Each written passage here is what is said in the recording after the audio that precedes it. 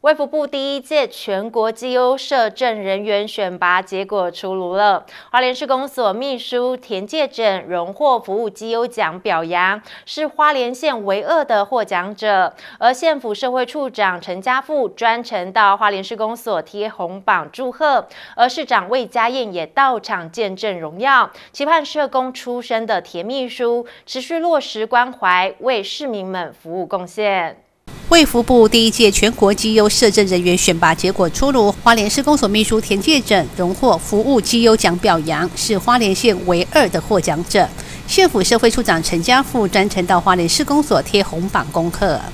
本届呢，我们花莲县呢获得了两位啊这个绩优名额啊，一位呢是我们花莲县政府社会处的洪义凯先生啊，第二位就是我们花莲市公所的田介者秘书。那这个机务摄政人员呢，是卫福部哈，对于我们全国的这个摄政人员的辛劳，那新设立的一个奖项哈，那来呃表彰他们平时在第一线的工作里面的一个辛劳啊，而且呢要费尽非常多的那个精神心力啊，来代表各机关啊，还有中央呢地方及地方政府来服务我们第一线需要服务的乡亲们。那特别呢，呃，增设了这个奖项。社工出身的田介整投入社政服务年资超过十五年，不论是儿少保护、家暴、性侵防治，以及零二零六地震期间的安置工作，还有慈爱基金推广、食物银行发放等各项任务，他都尽心尽力。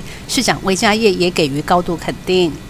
我看到我身后的这个红板后，要恭喜我们介整后。那今天是呃，借整荣获了我们全国绩优社政人员的呃第一名后，那真的要先恭喜他。那我们在花莲施工所的呃，不管是我们在斯劳克的各项的业务后，我们其实大家有来办过就知道哈，其实我们同仁非常的认真。那今天要恭喜我们的借整后，那我想施工所所有的服务单位后都会认真的替我们市民来做服务。那呃，我想今天的殊荣哈，其实也很感谢，不管是中央或是我们县政府哈，那也谢谢，呃，帮我们提报上去哈。那我想公所的服务绝对不会让我们所有市民怀疑，我们会持续的更为我们市民，不管是在呃任何的各项服务后，我们都会更加的来努力。获奖的田介准，他谦虚的表示，这份荣耀是属于市公所团队。他强调，社政业务推广不是一个人努力就可以完成，必须经历许多的人力物力，公部门和民间单位共同携手付出，才能够真正给予弱势民众所需要的帮助。借鲁会换市报道。